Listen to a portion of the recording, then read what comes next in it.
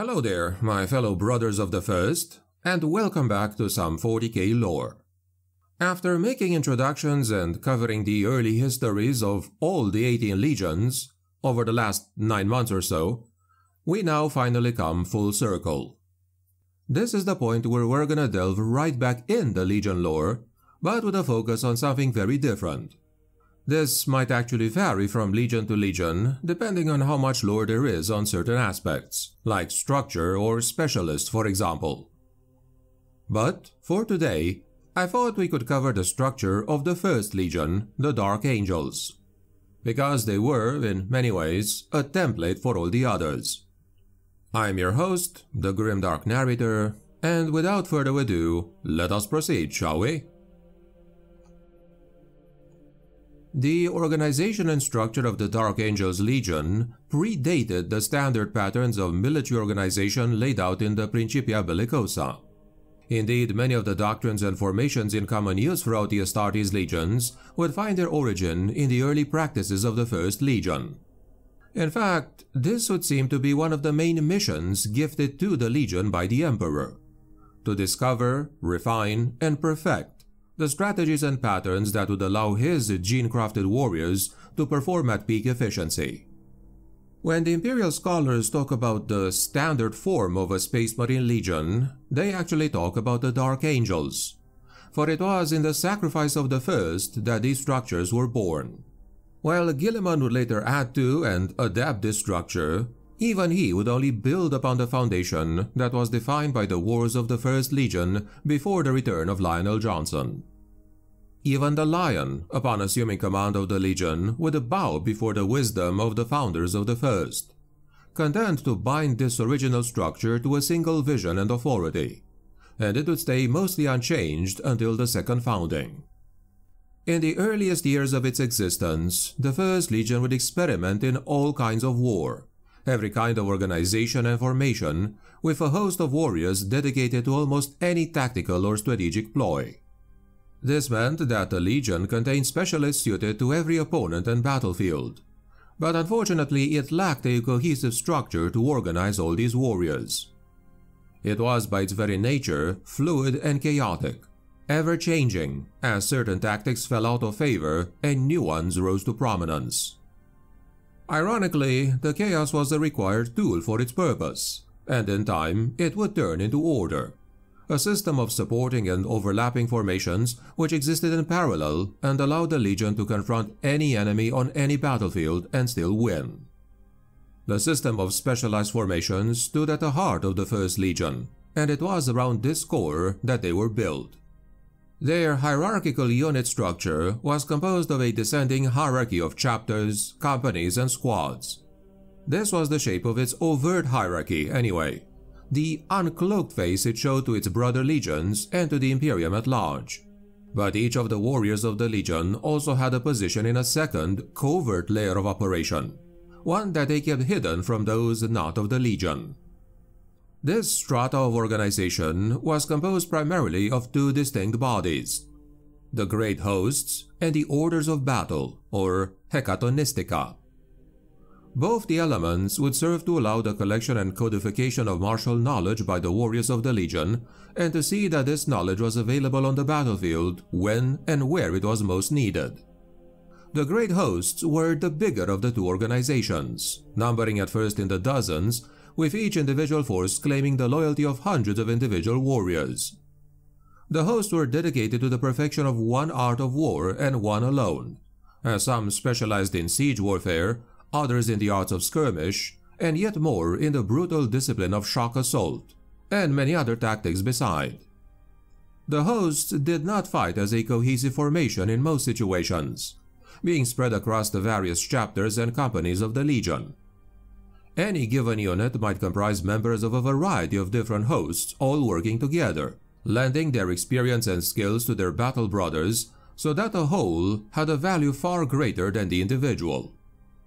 No matter the challenge faced by even the least unit of the First Legion, they would always find at least one expert in the ranks, an advantage compared to the younger legions, each of which was dedicated to a single brand of conquest and relatively ill-equipped to fight outside their preferred sphere.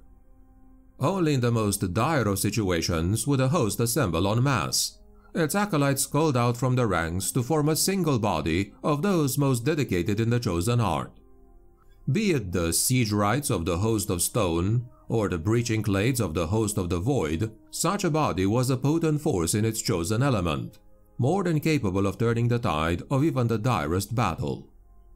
Each host had the same organizational structure, each with its own master, marshals, and initiates, organized into cells scattered across the chapters of the Legion. These cells were embedded at the heart of the Legion core, operating alongside the companies and the squads of its open and public hierarchy. Any given squad might include members from several cells, each one bound in service to a different host. They were at once brothers, sealed by the oaths made to Legion and Sergeant, and made strangers by the secret ties and mysteries of their host. A warrior owed his obedience to both the commander in the ranks of the Legion public hierarchy and the superior in the hidden society of the host, with only the subtle context of tradition to tell when one held authority over the other. It is a testament to the fortitude of the minds and the enduring loyalty of these warriors that such a complex and convoluted system not only functioned, but excelled in bringing victory to the Legion. The great hosts of the First recruited openly and widely among the uninitiated warriors of the Legion. When new intakes of recruits reached frontline companies, they would find themselves under constant scrutiny from the appointed procurators of the hosts, each seeking signs of the aspirant's worthiness to join their host. Those selected to be the procurators having already faced the trials upon the battlefield and in the subtle tests conducted by their brothers and commanders, would be quickly inducted into the most basic tenets of the host, and granted the right to bear its mark upon their power armor. The warriors initiated into a host met freely within the precincts of the Legion holdings and encampments and debated strategy and the proper use of arms, with those of the higher rank responsible for the training of those below them. The gatherings, although not secret, were considered a private matter of the host. A forum where a warrior's standing in the host was greater than that of his formal rank in the legion. Members could speak about the business of the host, the practice and protection of their unique rites of battle and traditions, without any fear of censure, for it was considered the duty of the hosts to preserve the legion via their unstinting pursuit of excellence. Moving on, the orders of battle, also known as the Hekatonystika, were more numerous, but boasted far fewer adherents than the hosts. Of the hundreds of individual orders, most could count no more than a dozen initiates, a mere handful of warriors by comparison to the vast hosts and chapters of the Greater Legion. Such warrior fraternities could not disseminate their knowledge across the entire legion in the same manner as the hosts, and harbored skill sets which were ill disposed towards such a use. The orders of battle were experts in a single bloody aspect of war the destruction of a singular foe or the mastery of some aberrant field of conflict. When a battle group of the First Legion encountered a foe worthy of their hatred or a field of battle whose nature defied their contempt, it was to the orders of battle that they turned, forming a cenobium, a cadre of warriors from an order trained to negate the enemy, to lead the assault, and to turn all their secret knowledge into a weapon to smite the enemies of humanity. Each order of battle maintained a strict hierarchy, although no two were exactly the same, with each organized to best serve the aims and lore kept by that order. Because, unlike the hosts, which openly recruited and shared much of their knowledge when called to battle, the orders were much more secretive. The true position and nature of the ranks within a given order were only understood by the initiates of that order, with a system of ciphers and cryptic signs unique to each order used to mark them out to those who had been inducted into their ranks. Each tier of the order granted an initiate greater understanding of the mysteries it had been created to preserve, and placed upon them a great burden of responsibility in keeping that knowledge ready to be called upon at need. The order would meet to affirm their knowledge in the form of rituals and tradition, as well as to train in more traditional ways. Most orders maintained a sanctum chamber aboard any vessel to which they were posted, a private space into which entry was only granted to ordained members of the order and where ritual training and study could be pursued in peace. Some of the biggest orders controlled entire space stations, most often based in and around war zones that supported or required their skills. For example, the Order of Broken Spears operated an orbital stronghold capable of hosting all its 138 known members. Set in place above the broken mesas and twisting canyons of Argel 3, a death world whose rock was laced with traces of heavy metal that countered most active sensor systems. Given that the Broken Spears were masters in the art of ambush and the silent war of wits that prevailed in such environments, this served as the perfect location for the training of its warriors and as a retreat for those veterans wanting to contemplate the teachings of the Order without distraction. These sanctums, whether grand strongholds or Spartan chambers aboard a vessel, were also serving a crucial role in the recruitment of new members. Such prospective acolytes were identified by the senior members of a cell by the record of their achievements and skill, and were subjects to much debate within the cell before any decision was made. Once summoned by a cell, a warrior could expect to face a set of grueling physical and mental trials, administered in the seclusion of the Order's domain where the candidates were granted limited rights of entry, though often under binding oaths to hold secret all that they witnessed.